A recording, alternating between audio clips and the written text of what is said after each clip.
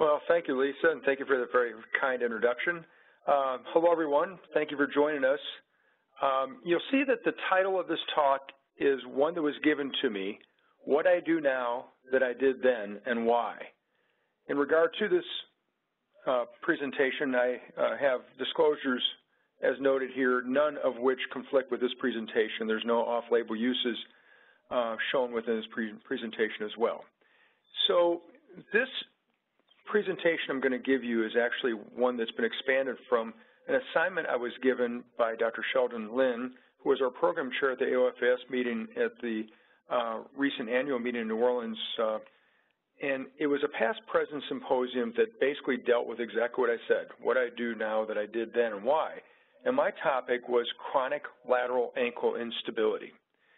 So as you all know, inversion ankle sprains occur very commonly. Uh, in the United States, there's one for every second of the day, uh, and most of those, of course, are in uh, recreational sports. And some of those inversion ankle sprains can lead to chronic instability. In fact, when you look at the statistics, about 20 to 25 percent of individuals suffering an inversion ankle sprain will develop chronic pain or dysfunction. About 10 to 30 percent uh, of people sustaining an ankle sprain will develop mechanical or functional instability, which I'll discuss in one second. And some patients, unfortunately, will not do well with non-operative management, will have chronic uh, dysfunction, oftentimes due to persistent inversion instability, and will actually request or require surgical intervention.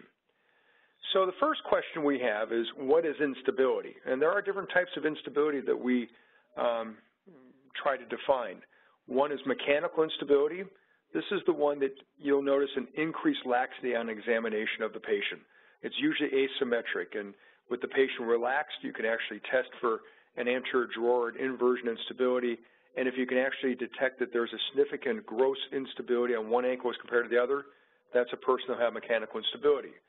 The use of stress radiographs to highlight that mechanical instability, that asymmetric Inversion instability has been controversial in the past, but certainly that's something that can be done because if you do demonstrate increased inversion um, and tibial talar tilt on stress radiographs as compared to the contralateral, people would say, okay, that is a mechanical instability pattern. Now, there's also functional instability. Functional instability is where you may examine the patient and find that they're relatively stable and without asymmetry, and yet they come in and they present with a subjective feeling of giving way, that they have these repetitive inversion um, incidences that uh, interfere with not only, not only the recreational activity, but activities of daily living. And again, that's functional instability. Now, functional instability can be caused by weakness or poor proprioception, poor recovery after a prior inversion ankle sprain. So again, those are the two types of instability patterns that we discuss. Now, let's define lateral instability even further. Is it just that that's limited to the tibial talar joint? Does it have a component of subtalar joint instability, or is it a combination of both? And again, I'm going to highlight that in just a, a moment as well. So again, not only are we looking at the types of instability, mechanical or functional, but where does the instability occur along that lateral aspect of the ankle and hindfoot is important as well. So as I look back on this and said, okay, how have I dealt with inversion, instability, in the individual with chronic symptoms since I began my practice in the mid-1980s. And you look at what the choices were back in the 1980s for dealing with these particular patients with chronic inversion instability. You have your director anatomic repair, which include the Brostrom, the Gould modification, the Karlsson modification, and then others that directed some of the attention to the subtalar joint.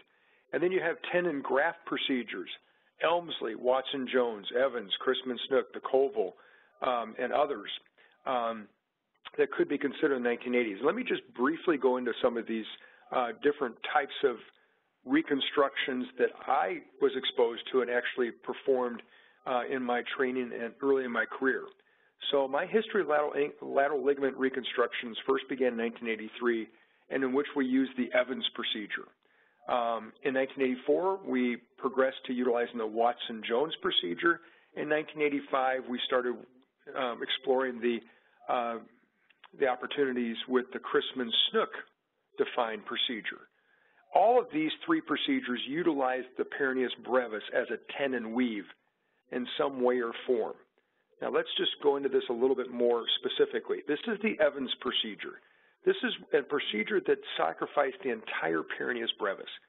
So you would basically transect the peroneus brevis above the level of the superior retinaculum, and then you would go ahead and you drill a hole through the fibula, and you basically reroute the entire peroneus brevis through the fibula. Now, in this procedure, your ankle dorsiflexion and plantar flexion is minimally restrict, restricted, but you did restrict inversion at the subtalar and ankle level. This procedure, as you can see, the way it's diagrammed there, this would have uh, a restraint to inversion, but it had very poor control of anterior talar translation, the so-called anterior drawer. When you look at some of the outcomes that came out in the 1980s and early 90s in regard to the Evans, there was about a 80 to 96 percent good and excellent outcome in the short term. However, only 33% of individuals resumed an athletic activity and 50% had satisfactory results after 14 years. And that's really not a very good outcome when you talk about uh, uh, this particular procedure. So again, you'll see that in the first diagram I had, they brought the peroneus brevis through the back of the fibula to the front and sutured it there. In this diagram, you'll see there on the right, it's basically a tunnel directly in the front of the fibula, extending out posteriorly about two centimeters more proximal. So again, that's the Evans procedure, sacrificed the entire peroneus brevis and created a tenodesis effect on the lateral aspect of the ankle. Now, this was the Watson-Jones. It was similar to an Evans, and then again, it was originally described as taking the entire peroneus brevis away to use as a tendon weave, a graft type procedure. but you'll see in this situation, they didn't stop in the fibula. They actually went and rerouted the tendon through a tunnel in the talar neck. So you needed a quite a long graft to make this work. So you ended up making a long incision over the proximal aspect of the leg and harvested the entire peroneus brevis at the musculotendinous junction, rerouted through the fibula, through the talar uh, neck tunnel. And this procedure, as you can imagine, had better control of talar translation. It was actually a very good procedure in regard to minimizing anterior drawer. But the ill effect was that you also significantly restricted subtalar motion by doing so. If you looked at the outcomes of the Watson-Jones again, came out in the 1980s, it was, again, 80 to 93% good and excellent short-term results, but there was unsatisfactory results and deterioration of the time, particularly to the subtalar joint, where a 60% late arthritis um, uh, finding was noted. So again, you'll you'll see there that it's uh, one that probably restricted inversion too much. From there, we went to the Chrisman Snook, or the so-called modified Elmslie procedure. And you'll see here, this is different in that you only used half of the peroneus brevis. So you split the peroneus brevis, and you rerouted it the other direction. So you routed it from the front of the fibula to the back and then down to the calcaneus. So it very nicely approximates the course of the calcaneofibular ligament. It did not do a good job of mimicking or reproducing the course of the anterior talar fibular ligament, however. You'll see where that graft's coming in almost 60 degrees to the uh, typical uh, course of the anterior talar fibular ligament. So again, not good control of the anterior drawer, very good control of, of the calcaneofibular ligament. And this was uh, outcomes as noted in 1985. This was a study uh, highlighted 57 patients, um, and the average follow-up was 10 years. Uh, 45 of the 48 had good excellent results. 5% had a re-injury. There was an average decrease in inversion of approximately 20 degrees, as expected. So again, you'll see how that is routed from the front of the fibula uh, back down to the calcaneus, and then if you want, if you had enough tendon length, you could actually come back up to the talus again. But again, that took a tremendous amount of graft, and, and uh, I had little success with finding that much graft to go all the way back up to the talus with this procedure. So those were the procedures that I was uh, trained on and used early in my career. Then in 1987, I was exposed to the modified Brostrom-Gould procedure. So as you all know, the modified Brostrom-Gould was a local anatomic repair that utilized the dense scar tissue from the prior injury to reef and to restore stability along the lateral aspect of the ankle. So basically this is where our attention went to was modifications of the Brostrom. Now the original Brostrom procedure described in 1966 actually was one that typically only repaired the anterior talar fibular ligament. You took that dense scar tissue from prior injury and you imbricated it on the anterior aspect of the fibula. Only 30% of Brostrom's original series directed attention to the calcaneofibular ligament. In his early studies, he had an 80% success rate, which, as we know from our lateral ligament reconstructions, is not very good. But that was the Brostrom, and everybody found it to be a very simple procedure, utilize local tissue. So could it be made better? And Nathaniel Gould um, added his modification to the Brostrom, which included identification and advancement of the extensor retinaculum to the fibula. And then Karlsson described imbricating and shortening the calcaneofibular ligament in every procedure that he did a Brostrom on. So those are the two modifications that uh, basically were added to the original Brostrom to make it even better. And you could do these two in combination as well. So we get into the late 1980s, and the Brostrom-Gould procedure was becoming known for successfully managing both mechanical and functional ankle instability. And truly, it's been the gold standard since the early 1990s. And most everybody felt that this procedure was adequate for everyone with chronic ankle instability. Recreational, professional athletes, elite athletes, everyone. But the question is, is it really that good? And this was a case example of mine. I did a procedure on a 25-year-old athlete in 1989, um, and we did the standard Brostrom-Gould procedure for chronic lateral ankle instability. No underlying cavo varus. He had attempted he had failed uh, uh, prior attempts at bracing. Uh, the surgery itself went well, no postoperative complications, but at three months postoperative, he returned with recurrent episodes of giving way, occasionally with pain and popping, but it was, for the most part, persistent instability, recurrent instability, and noting difficulty with cutting maneuvers.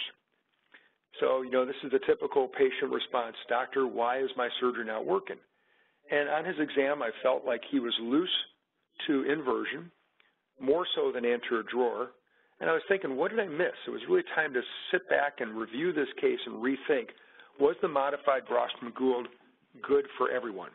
I think there's some things to consider when you dissect through this case example and the um, use of the modified Brostrom-Gould uh, procedure for everyone. The first is you have to define lateral instability. It's etiology. And did I really do that? Did I really determine how much instability this um, athlete have, and did it come from the ankle or subtalar, or was it a combination?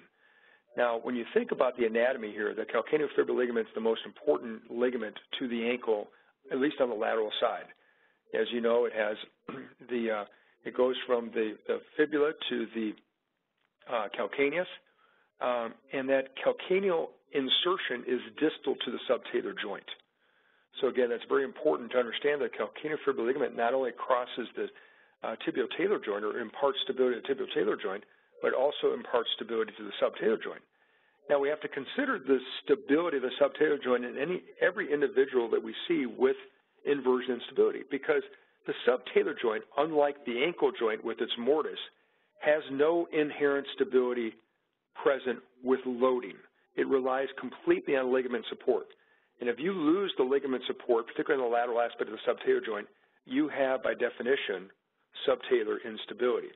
So when you consider the anatomic course of the calcaneofibular ligament, how it crosses both these joints, perhaps we should be considering a more combined pattern of instability when we see our, our athletes and our active individuals with inversion instability, tibio-talar and subtalar joint. It's a very important ligament, again, that imparts stability across both joints.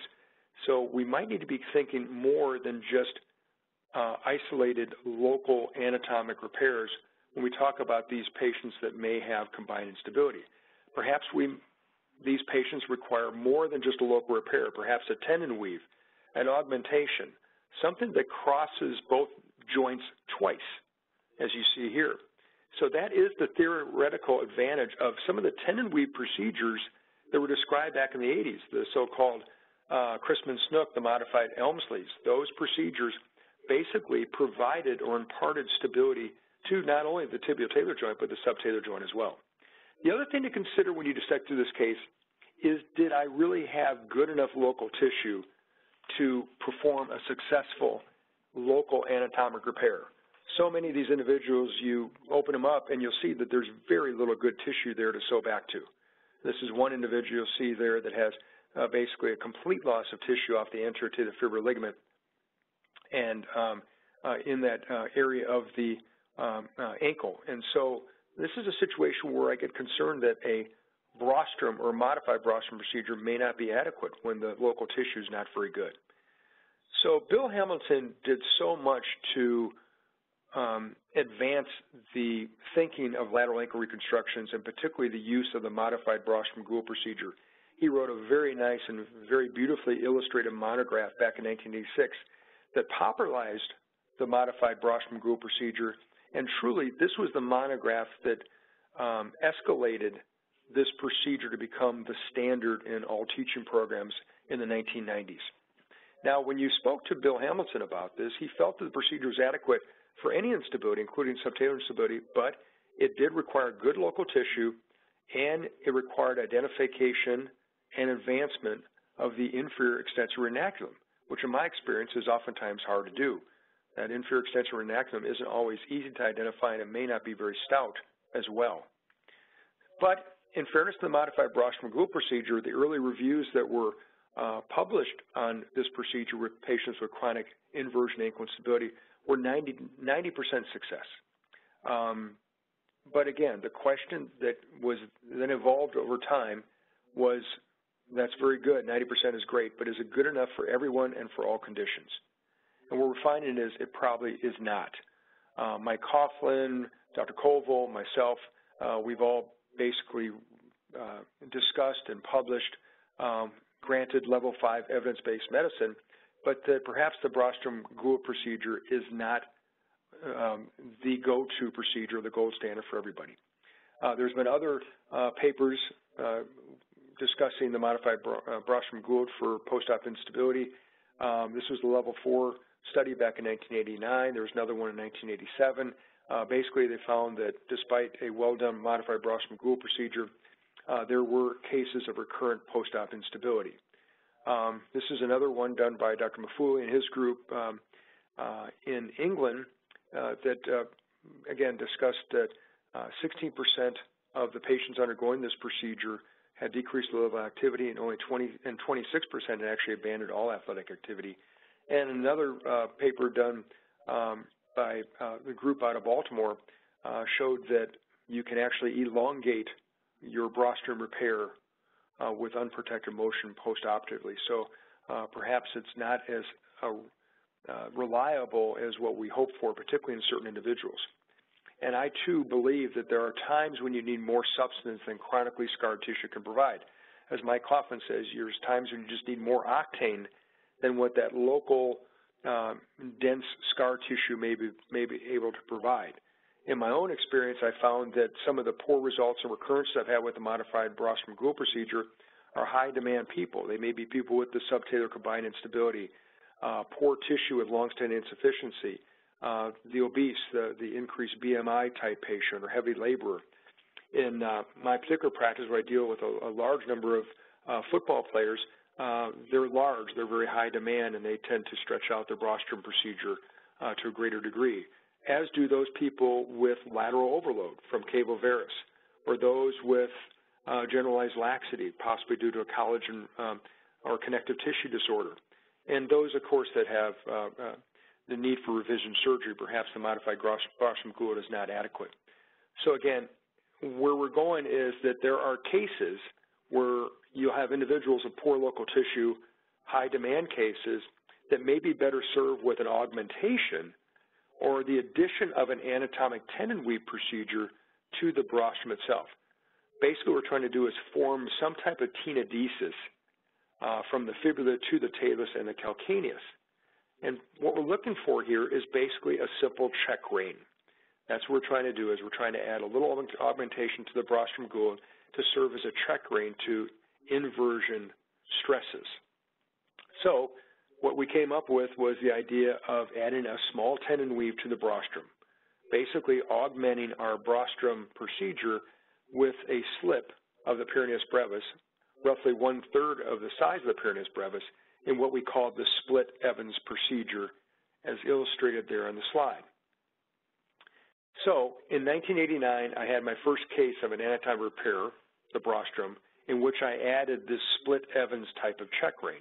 This was a professional basketball player. I was concerned about the amount of stress and the cutting he was going to be placing on the lateral aspect of the ankle, um, and I wanted to add something to the Brostrom.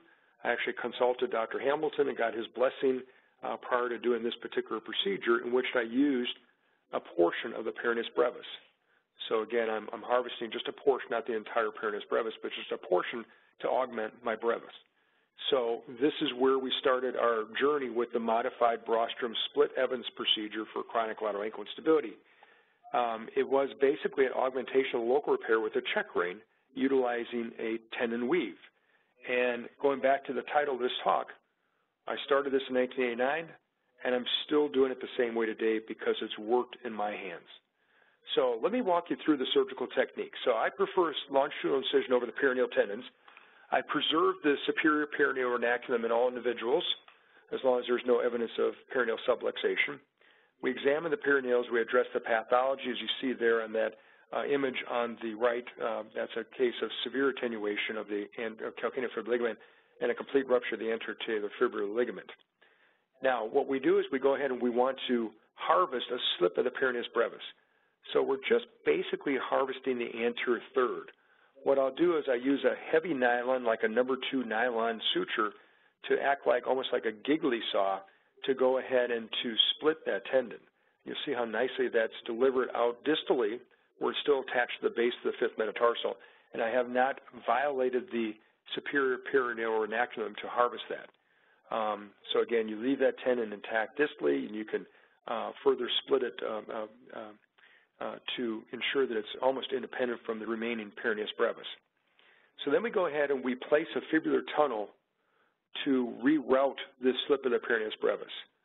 So we actually drill the hole at a site between the calcaneofibular and anterior fibular ligament insertions.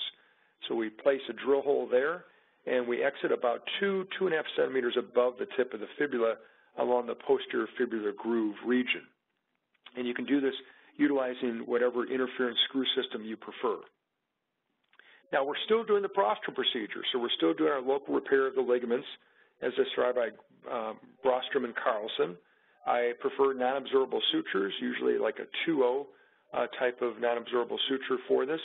And um, again, if you want to use suture anchors for uh, advancement of the anterior ligament, you certainly can. When we secure our calcaneofibular ligament, we do that first, and we do it with the foot in ever eversion and maximum plantar flexion.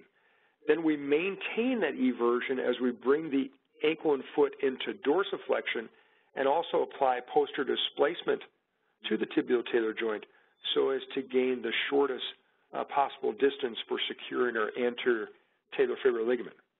At that time, we go ahead and we then reroute our peroneus brevis slip through our drill hole in the fibular tunnel and then secure it with an interference screw, usually a 4 4.5 millimeter screw.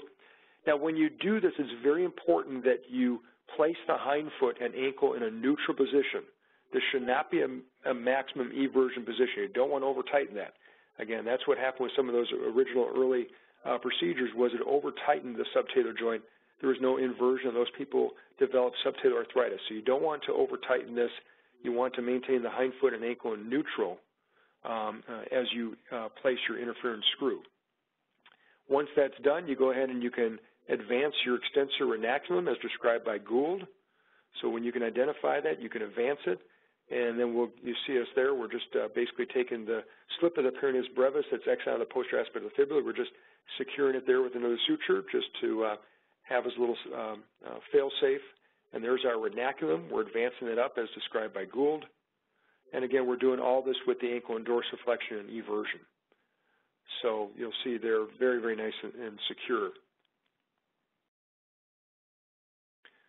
So does this procedure work? What are the complications? Well, we've uh, we've done several series looking at our, our procedure, the Brostrom Split Evans procedure. This was the first one we did by Dr. Pierre Girard uh, back in 1998. He presented this to the AOFAS and we looked at every patient. We had them come in. They got a physical therapy and Cybex evaluation. In our series of patients, we found no over-tightening, no loss of peroneal strength, uh, despite the harvest of the anterior third of the peroneus brevis, and our AFS score was quite good at 98.2. um, Dr. Troy Ardoin, he went ahead and, and did a follow-up study uh, for the AAOS in 2011. These were 20 patients he found with an average of 8.5 years of follow-up. The average inversion loss was 51%, as we'd expect. Uh, eversion strength was equal. There was one case of asymptomatic subtalar arthritis noted. We've done two published retrospective series. The first was done by Girard in uh, 1999. Um, again, it uh, mimicked the results he presented to the AOFAS. And this was the most recent publication done by Andrew Hsu um, in January of 2016, again, noting the uh, uh, very good intermediate and long-term outcomes of the modified Brostrom-Evans procedure for patients with chronic lateral ankle instability and showing no significant subtalar arthritis risk, um, no peroneal um, uh, tendon strength loss, and no recurrent instability. So again, this was uh, Dr. Hsu's study. Again, you'll see I've highlighted in yellow minimal loss of peroneal strength. Um, there was decreased inversion range of motion as expected, but no recurrent instability or progressive symptomatic subtalar arthritis requiring reoperation at a long-term follow-up. So again, we've shown that this procedure does work and it does hold up with time. And again, it's done well for me over the last uh, 25 plus years. I feel that it holds up better than the Brostrom. I found it to be very beneficial for athletes, workers' comp, obese patients, and heavy laborers. And anecdotally, I find that this procedure, adding this augmentation of the split peroneus brevis allows for quicker and uh, more trusted rehabilitation as well. The bottom line is basically this is a poor man's internal brace. You may all be um, familiar with that particular artificial uh, ligament augmentation uh, that uh, has gained popularity recently. Uh, but again, this is a very, very similar device, only it's the patient's tissue, um, and it allows for biologic ingrowth um, as well. So again, this is how I look at this particular check rein device, very similar to that of the internal brace. Let me just, uh, again, walk you through the procedure. I think this would be very helpful just to show, again, uh, one more example of the procedure in more detail if you'd like to consider doing this in any of your patients with um, uh, basically at more risk um, than what you might feel comfortable just doing a Brostrom Gould on. This is a 25-year-old professional volleyball player with recurrent inversion ankle instability. Um, he's had a number of sprains, and it's become a performance issue at this point. Uh, he has a, a significant uh, difficulty performing due to this inversion tendency. You can see there the positive anterior drawer, the positive um, inversion uh, stress test that we did. So here's our incision, uh, a longitudinal incision, curvilinear skin incision over the course of the peroneal tendons. You see I've identified the extensor retinaculum. There's our two peroneal tendons. You bring those two peroneal tendons um, inferiorly, and that allows you to visualize the calcaneofibular ligament. In this situation, the tissue is very poor. The calcaneofibular ligament is almost uh, indistinguishable. It's, uh, it's been quite attenuated. Now, what we're doing here is we're dividing the anterior fibular ligament, the underlying capsule, off the anterior aspect of the distal fibula. Uh, we want to expose the anterior aspect of the distal fibula. We want to denude all the soft tissue to create a, a nice bleeding bed of bone to um, advance that inferior extensor I mean, I'm, I'm sorry, to advance the anterior to the fibula ligament back to. So again, you can use your curette, your rongeur. Now, this is identifying and transecting the calcaneofibular ligament. So you see we actually have identified it, we see it's attenuated, we're dividing it, and then we'll actually take out a segment before we imbricated it so as to shorten it. Um, this is one way to do it. Another way to do it is just to leave the, um, the ligament intact and use a box suture just to act like a mattress suture to, to pull it all together, to imbricate it together. But in this situation, we actually formally transected the calcaneofibular fibular ligament and then took a section out, and then we're going to repair it primarily. This is showing here how we harvest the anterior third of the peroneus brevis. That's our heavy nylon suture. I've identified the anterior third of the peroneus brevis, put a hemostat under, grab our nylon suture, and then I can basically leave the superior peroneal naculum intact as I harvest this anterior third and then transect it approximately. So it's a nice little trick to use, just using a heavy number two nylon as a Gigli saw, so to say, and then there's our anterior third of the peroneus brevis that's been harvested. And again, you can split that further down distally and get it as independent from the remaining peroneus brevis as possible. Here's our drill hole. Again, it basically bisects the insertion of the calcaneofibular ligament and the anterior talofibular ligament, and then exits out the fibula approximately two and a half centimeters approximately. And now you'll see we'll just pull that slip of the peroneus brevis through the drill hole, very simple, and that's our check rein. Now we'll go ahead, we have to complete our Brostrom procedure. We're going to advance the anterior talofibular ligament back up to that denuded uh, uh, area of bone. You can do a pants over vest type of uh, maneuver as shown here. Uh, we also are, in this particular situation right now, we're actually suturing our calcaneofibular ligament that we've actually taken a portion out of. Here's actually the um, advancement of the anterior talofibular ligament. So again, whichever way you want to do your Brostrom uh, Karlsson type of procedure is uh, certainly at your discretion and really has no bearing on the augmentation, the so-called split Evans itself. So here I'm using my non-absorbable sutures. I'm doing a pants over vest uh, technique, and I'm going to advance that attenuated portion of the anterior fibular ligament back to the denuded bone bed we created on the anterior of the distal fibula and suture in place. If you'd like, you're certainly welcome to use some type of suture anchor device here to accomplish the same. And there is the mattress sutures being placed, pants over vest type of technique, and you'll see that that uh, large cuff of tissue then is basically uh, lined directly on top of the denuded bone on the distal fibula previously created. Now again, we're suturing the ligaments, eversion, plantar flexion for the calcaneofibular ligament, and eversion dorsiflexion with posterior translation for the anterior talofibular ligament. And there's our peroneus brevis slip that's now been set into place and has been secured with an interference screw inferiorly, and now we're going to close the sheath of the uh, peroneal tendons and then advance the inferior extensor retinaculum. So what this gives you is the feeling of immediate stability. You, it's uh, not only are you relying on the stability imparted by the Brostrom Gould procedure, but you've added your check rein. And then we're testing to make sure that he still has eversion, but we have limited inversion from neutral on. Unfortunately, not all lateral ankle reconstructions are successful, even with the augmentation of the split brevis. Um, just to uh, finish this up, what do I do if I have a failed reconstruction, one that's been done well even with augmentation? Well, I'll typically revise it with a modified Elmslie utilizing a free graft. Uh, Dr. Armen Kelikian talked about using a uh, toe extensor tendon to do this. I basically prefer utilizing a semitendinosus or gracilis tendon. You can certainly use an autograft, but I prefer allograft, uh, so I don't create a, a, a harvest situation um, in the patient. So again, that's typically our tendon graft that we use is the semitendinosus or gracilis to do a salvage tendon weave procedure. We'll secure the graft into the talus with an interference screw, and then we'll drill holes through the fibula and through the calcaneus to set this tendon weave in place. Again, a procedure that has been popularized by Colville and again by Dr. Coughlin as well, and which we have used quite successfully over many years. So you'll see here that we've already set our allograft into the talus. Now we're placing it through a drill hole in the fibula, and then we'll drill a hole through the calcaneus and we'll deliver the graft out the medial aspect of the calcaneus.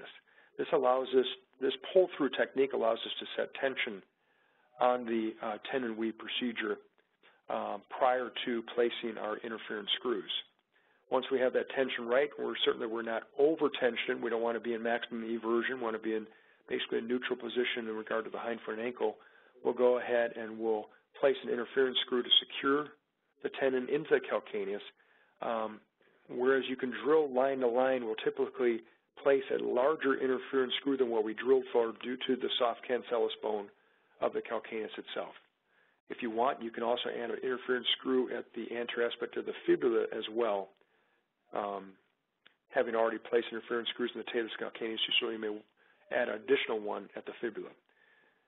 And I think whenever you're dealing with a failed procedure, you're having to salvage uh, uh, lateral ankle uh, instability situation, always go back and look at the posture of your patient's lower extremity, particularly the foot and ankle.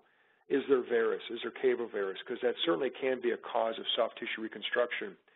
Um, failure is to not recognize the persistent overload created by a cavovarus foot posture. So again, if I'm doing a revision surgery, a salvage surgery for failed uh, soft tissue reconstruction laterally, and if there's any evidence of cavovarus, I'm going to go ahead and try to minimize that lateral overload by doing some type of bony osteotomy. Uh, you have to determine whether the varus is at the hindfoot level or the forefoot level uh, or both, and you can do that by utilizing a Coleman block test. And then again, you want to correct that varus or cavovarus malalignment by doing some type of osteotomy. It may be a calcaneal osteotomy, either a Dwyer or a Malerba, as you see there in the bottom, possibly with the addition of a first ray elevation, again, as you noted in that x-ray in the bottom. And rarely, rarely would you consider maybe a tibial osteotomy to help correct the varus um, in unique situations. So again, things you need to consider in the revision or salvage situation. As far as post-operative, following these lateral ligament uh, reconstruction procedures, I typically will mobilize my patients in mild eversion and neutral dorsiflexion for two weeks, keep them strictly non-weight bearing. At two weeks, then I'll place them into a walker boot or cast, depending upon their compliance or their comfort level, but again, avoiding all inversion until six weeks post-operative. At six to eight weeks, I advance them to an air stirrup or some type of active brace um, orthosis. I begin uh, active act, active uh, dorsiflexion, plantar flexion, and, and peroneal strengthening as well. But in regard to peroneal strengthening, you want to initiate resistance but without inversion. We basically orthopedically clear our active individuals by 12 to 16 weeks post-op meaning that we allow them to advance a functional recovery program. If there's concerns about their strength characteristics, you can certainly do a Cybex or Biodex um, analysis, which will give you some objective measurement of their strength recovery or any deficits they may have. And if the strength looks good, then you can reintegrate them into their sport. I'll typically recommend they use a brace for sports for at least six months, if not indefinitely, following these type of soft tissue reconstructive procedures. So in summary, this chronic lateral ankle instability situation has been one I've been very interested in for uh, uh, uh, many, many years. And, and what I've realized, just like a bunion deformity, you have to treat every patient individually.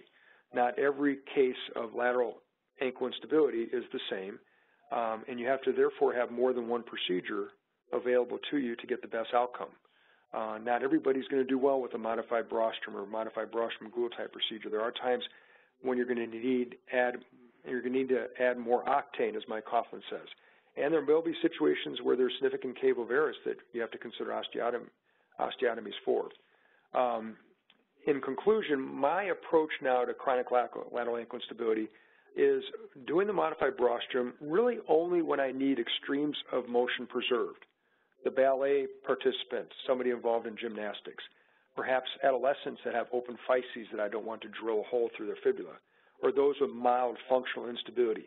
These are people that may do fine with a modified Brostrom Gould procedure, um, uh, you know, utilizing uh, not only a imbrication of both of the ligaments, but also adding the extensor retinaculum um, as well. I must say that I still do this augmented check rein repair, the Brostrom split Evans, on the vast majority of patients that I deal with. Uh, those with mechanical instability, uh, those with hindfoot varus, and I have to consider osteotomy with those as well. So again, I would say that probably more than 90% of patients that I do surgery on for chronic lateral ankle instability uh, undergo the check rein augmentation. And then I save the free graft, the one I showed you lastly, uh, for failed augmented procedures or those with flail ankles or neuromuscular deficits. So again, this is a procedure that I've been doing since 1989. I still do now because it works for me. But again, I hope this has been uh, of interest to, to you all, or at least understand that not everybody is suited well to just undergo a simple modified Brostrom Gould procedure for chronic lateral ankle instability. Thank you very much. Here's, here's one right here. Um, how do you think the internal brace from Arthrex compares with the split Evans augmentation and thereby preserve the brevis? Um, I, I, think the internal brace is a very um, helpful device, uh, particularly if you aren't comfortable harvesting a slip of the peroneus brevis. If you have somebody who's older, who their peroneus brevis is um, not present or not in good condition, um, I think that the internal brace is an excellent device uh, to augment with. Um, again, the advantage of adding a check rein. So I think that it is um, a helpful device in the situations where your peroneus brevis tendon is not suitable to harvest a simple one-third of it. Again, I have uh, uh, utilized internal brace in special circumstances, people who are going to have to get back to their sport in a very, very short period of time, um, or those with pre-existing peroneal tendon pathology. Um, the internal brace really, if you look at, and I've done many studies, the internal brace and the um, split brevis are very, very close in the same course that they follow. Uh, the internal brace is placed from the anterior aspect of the distal fibula into the talar neck, and the vector that we use for the split brevis is not that far off. So again, I find that where the advantage of the split brevis is, is primarily to check rein inversion more than anterior drawer. I'm relying more on my Brostrom Gould procedure for the anterior drawer. I think where internal brace probably has an advantage is it probably uh, does more for augmenting and reducing anterior drawer than it does calcaneofibular ligament.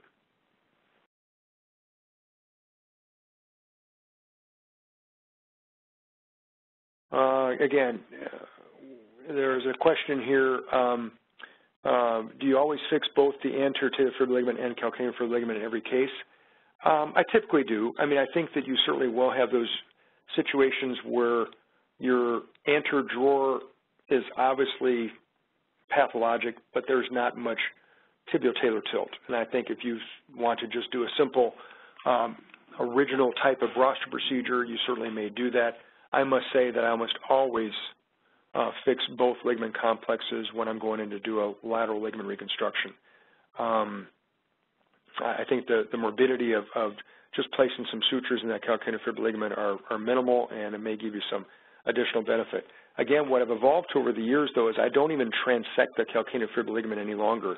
I do basically what I call box uh, suture, um, like a mattress suture to um, imbricate the attenuated tissue with actually dividing it. It seems to work very, very well. There's another question here. Will you use your procedure as an adjunct to primary repair? And yes, I mean, that's what this is all about is that uh, we do the primary repair, we do the Brostrom, Gould, as has been described, and any way you want to do that, any little um, uh, nuances you have to, to work for you is, is great. And then all I'm doing is adding this small slip of the peroneus brevis to act as a check rein. It just gives me a little security blanket. I feel more secure as particularly my, my heavy individuals, my um, people have higher demand uh, when they go back into activities that uh, they do so with um, a little extra tissue there, a little extra scar tissue collagen uh, to support their endeavors going forward. Um, let me see, there's also another here, a good question. Um, if you're doing a calcaneal osteotomy, do you use the same incision or separate one? That's a great question. Uh, we actually have published on this, uh, our group here in Charlotte looked at this uh, many years ago, and we actually found that if you know you're going to have to do a calcaneal osteotomy with a lateral ligament reconstruction and peroneal tendon reconstruction, you might be better off doing a two-incision technique. We found that the wound healing was actually better using two separate incisions parallel to one another than doing one extensile um, uh, ankle hindfoot uh, type exposure. So again, um, I have always utilized two incisions since uh, uh we um, looked at those particular results and published that article probably over 10 years ago. But those are all very, very good questions. Thank you.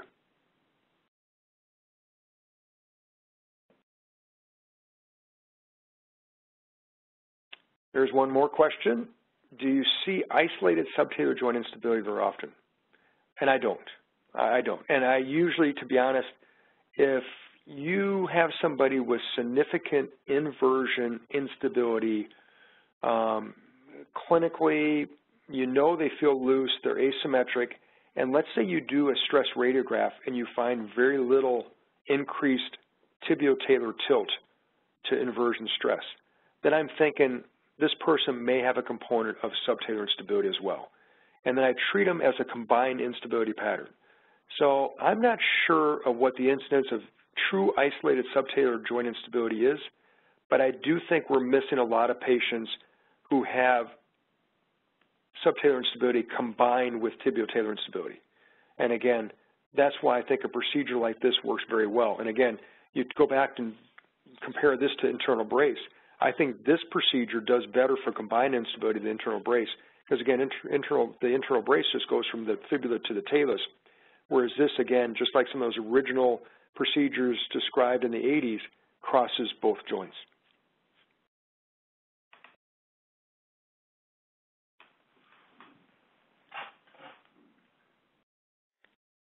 Another, another good question, have you ever had to loosen an ankle that's too tight? If so, how soon after ankle ligament is reconstructed? Um, well, that's a, a great question.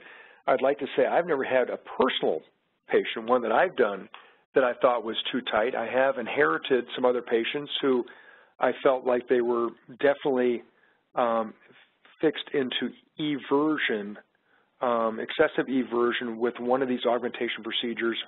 And I've also had some patients that have had the artificial device, the internal brace type device placed that were also too tight.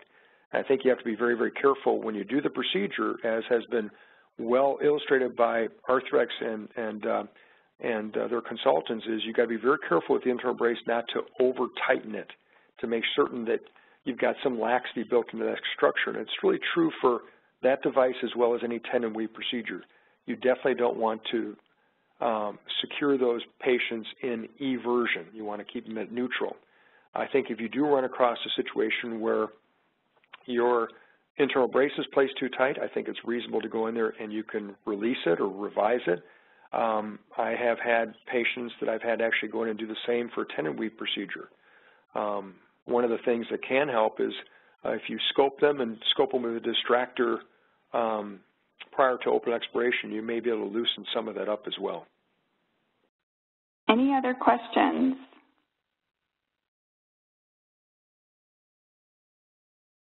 All right, if we don't have any further questions, thank you, Dr. Anderson. What a great presentation and nice follow-up questions from our participants. We appreciate that. Thank you, Lisa.